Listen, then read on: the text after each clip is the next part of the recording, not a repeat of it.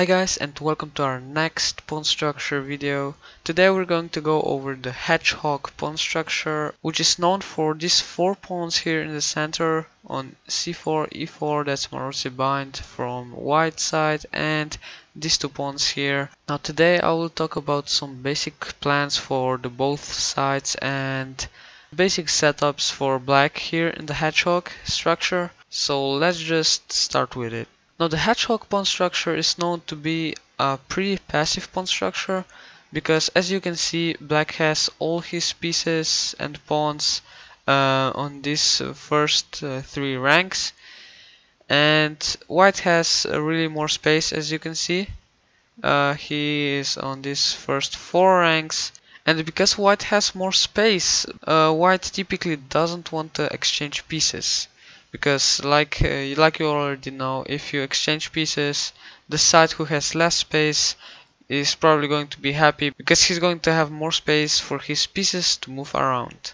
So in the hedgehog black might look pretty cramped here uh, with his pieces but this pawn structure is actually very solid and these pieces are communicating really well and a lot of times it's pretty hard for white to break this structure even though this structure is pretty passive and very solid, White still has to be very careful what he does, because it can actually turn out to be pretty dangerous for White. Okay, so now uh, I told you some basics and some facts about this structure, and I want to touch on some plans here. First for White. Okay, so White typically has uh, his two bishops here, um, and are pretty important here because as you will see um, they can support these uh, squares here and white almost always has his knight on d4 and his other knight on c3 or d3 and it can a lot of times move to this a4 square um, to support his plans which I'm going to talk about now. The first and the biggest plan for white here is to play c5 and try to just break this uh, pawn structure and get more space. And the second plan is to play um, b5 and the last plan is basically to play a4 and a5 but you have to do this at the right moment and it matters what your opponent does. So but most often you will see this move uh, c5 coming in. But first of course you have to prepare it and that's why uh, you a lot of times play knight a4 and that's why uh, you played uh, the move before to support this uh, pawn push. Now with all these plans you're trying to break the, your opponent's structure, mm, probably get some outposts and open your pieces. So if you manage to play out one of these plans in the right moment, then you will probably get a pretty pleasant game. Now the main plan for black in this structure is actually to play d5 uh, and to open this diagonal uh, challenge uh, this challenge the center and also try to open this diagonal for your b7 bishop. So it might become a bit annoying for white. Now the second plan for black is actually to play his queen to the b8 square and maneuver his bishop to this c7 square and then play d5 so you have this attack here on the h2 square and you can also move your queen to a8 if you want uh, some pressure here. So a basic idea here is to create a battery of queen and a bishop. And the third plan that you can see sometimes is to play king to h8 rook to g8 and try to attack uh, white here on the king side by challenging his structure here and opening some files for an attack since you have uh, this uh, diagonal here open also so this would be pretty great. And then another plan that we can see sometimes for black is to play b5 challenging this pawn and asking him if he wants to move uh, forwards.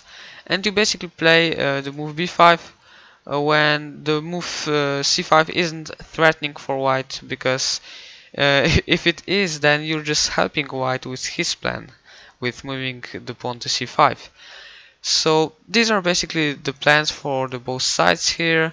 And today we're going to look at a game where white won. Maybe we're going to take a look of some games uh, where black won in our next videos but today I want to focus uh, how white won against this structure. Okay, so the hedgehog can come from the different openings just like the Maroczy bind pawn structure. And okay the opening isn't that important now. The Sicilian defense uh, we can see already the Maroczy bind uh, pawn structure. Uh, he's going to advance his pawn to c4 and okay we see c4 basic developing moves and now queen to c7 this is uh, really a normal move uh, preparing uh, probably uh, later queen to b8 and the bishop here to have pressure here. So that's just normal. And okay a3 you play a3 because you don't want uh, complications here.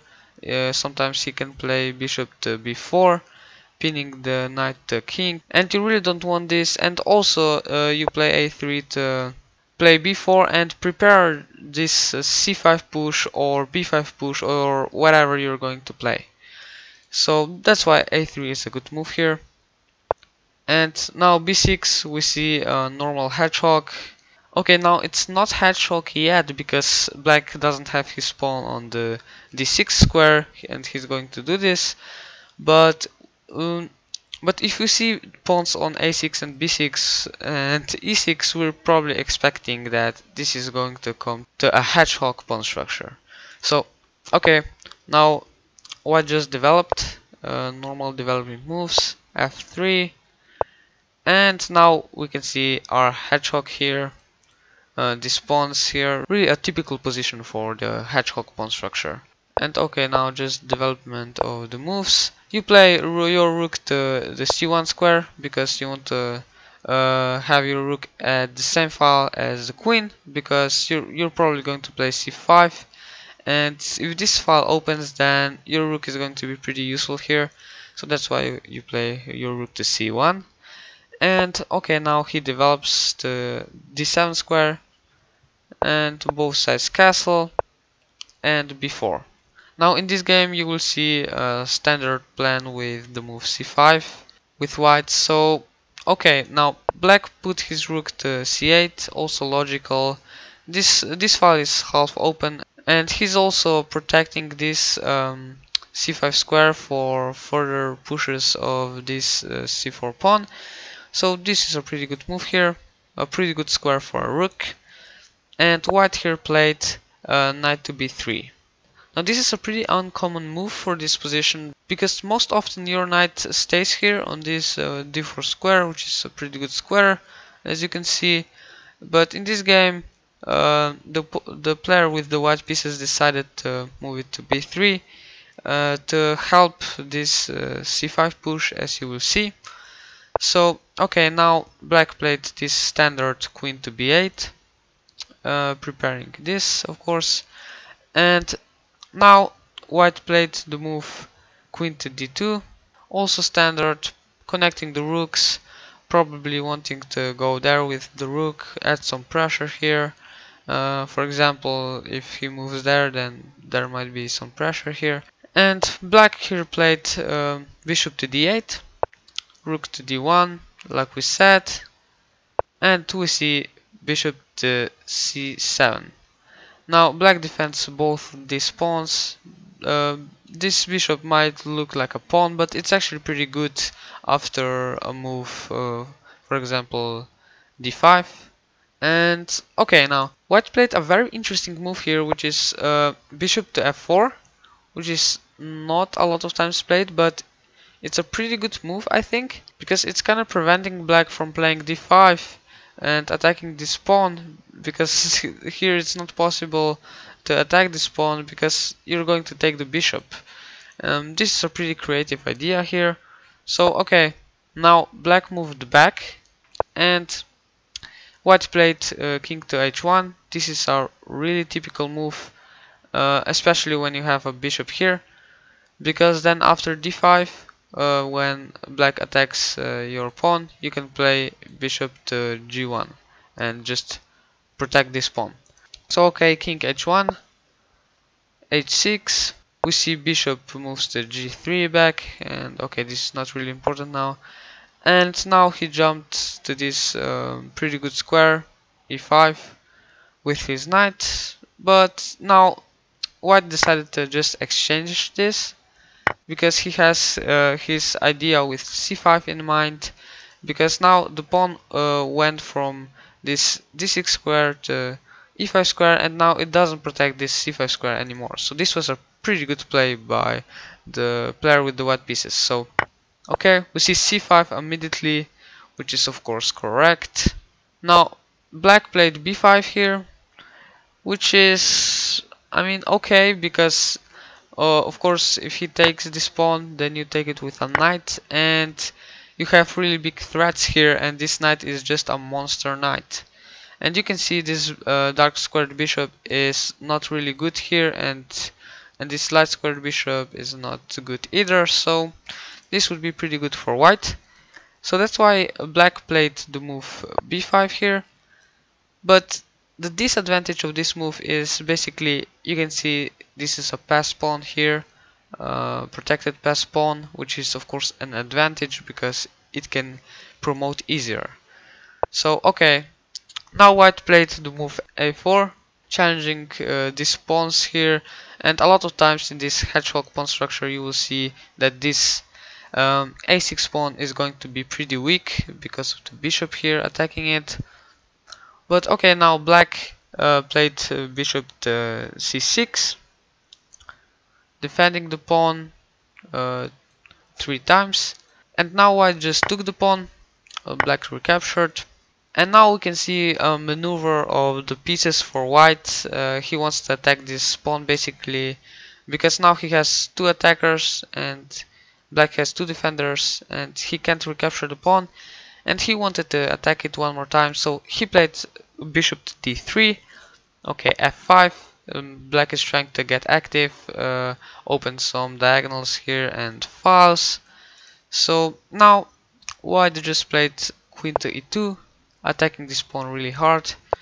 And okay black played knight to f6 and white took the pawn because black actually didn't have a way of defending the pawn so now the position for white is just winning. He has two uh, pass pawns and as you will see white just crushed black here. He moved back attacking this pawn. Uh, also this is a big threat. So he had to defend it. And now these pass pawns are just going to move forward. And this is a really terrible position for black. So okay now black exchanged hoping for at least some activity which he didn't get but okay. Now you can see c6 you can see these two pawns are unstoppable. And c6 is also played because of the next move that we're going to see uh, which is knight to c5 and now you can see these big threats here. And position for black is just over. Now black tried something I mean what can he do? And white took the pawn. You can see this pin here on the king uh, is very annoying. Black played uh, rook to f2 his last chance basically. He had to do something active but this tactically doesn't work because of the move knight to f4 and now basically this is a check as you can see. And if black moves there this is a beautiful checkmate here. And if black moves there, it's again a checkmate. This is really a beautiful checkmate with a knight. So black would have to give up his queen and this would just be of course winning for white. So in this example we looked at the most common plan that white can use against the hedgehog pawn structure and this is to advance the pawn to this c5 square.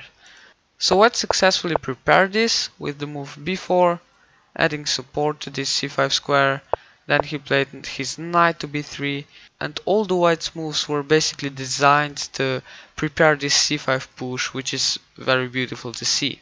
So this was a pretty good example uh, of the main plan for white against the hedgehog uh, pawn structure, and in the next videos we are maybe going to look at some victories for black, but for now I hope you learned something new from this video and if you did please like share and subscribe and I'll see you in the next video